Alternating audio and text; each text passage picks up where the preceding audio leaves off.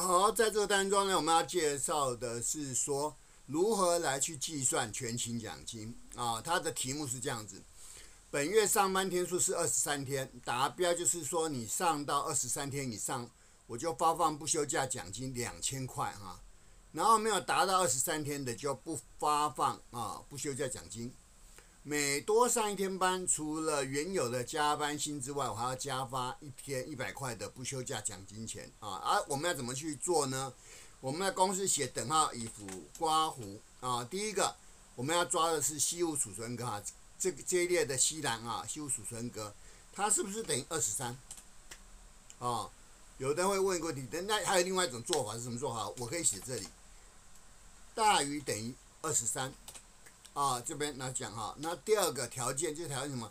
它既然是大于等于二十三的时候呢，我们要干嘛？算它的不休假奖金两千块啊，基本数啊，二十三天基本数是两千，然后我要让它加上干嘛？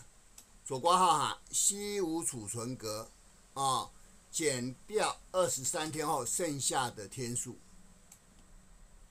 啊，然后再乘上一百块。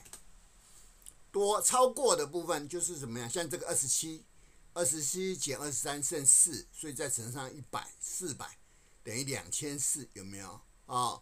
那如果是在二十三天以下的，小于它嘛，啊，那就什么零啊？这样子以后的右括号啊，我们就算完了，然后 enter，他就会跟你讲这是二十四天哈，二十四天有没有？可以二十七天可以领到两千四啊？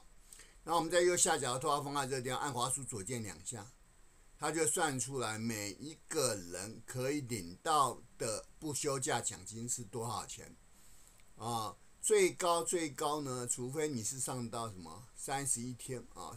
可是问题你这也没有三十天啊，最多三十天，三十天可以领领到两千七啊，两千七有没有？啊，这样子。